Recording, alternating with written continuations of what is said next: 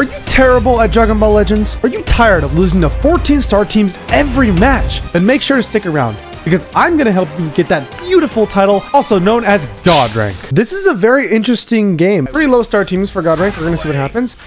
Okay, right away, there's a big problem. Okay, so what you just saw is an example of a high risk, very low reward type of play. Never ever do what this man just did. He he saw he had a green card, switch into Vegeta Blue, and immediately popped it. Never do that. That is so risky.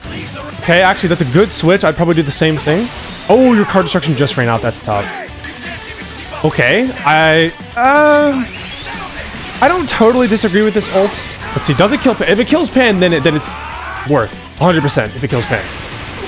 Okay, it doesn't. Okay. Um, really interesting main ability, but okay. Uh, that, wow.